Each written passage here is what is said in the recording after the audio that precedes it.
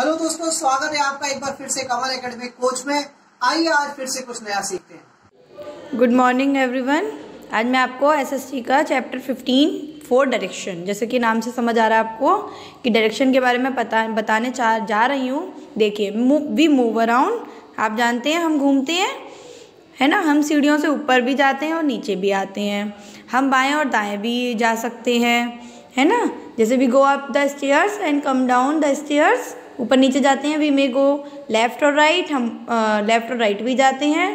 तो the words up down left and right are direction जो ये वर्ड्स आए हैं up down left and right ये सारी हमारी डायरेक्शन कहलाती हैं in the morning if you face the rising sun you are actually facing the east direction अब सुबह क्या होता है, जैसे हम उठते हैं, अगर हमारे सामने उगता हुआ सूरज है हमारे फेस की तरफ़ तो वो हमारी कौन सी डायरेक्शन कहलाएगी? हमारी ईस्ट कहलाएगी वो।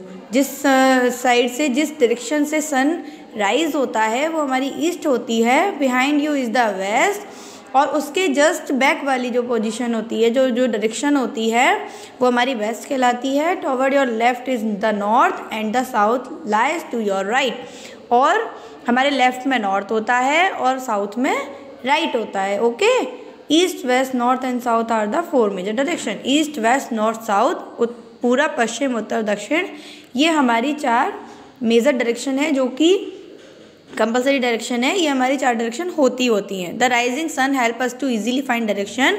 उगता हुआ सूरज हमें बहुत ही हमें आसानी रहती है उसको देखते में। हम उसको आसानी से आ, हम बता सकते हैं कि कौन सी डायरेक्शन में हम खड़े हैं या कौन सी डायरेक्शन है। It always rises from the east. ये हमेशा सूरज जो है ईस्ट से ही निकलता है। The sun also sets in the west और हमेशा जो सेट होता है या छिपता है, वो वेस्ट में ही छिपता है। Look at the very simple map on the next page देखिए, एक सिंपल मैप दिखाते हैं आपको, जो कि नेक्स्ट पेज पर है। This is a map of India ये हमारा मैप किसका है? इंडिया का है।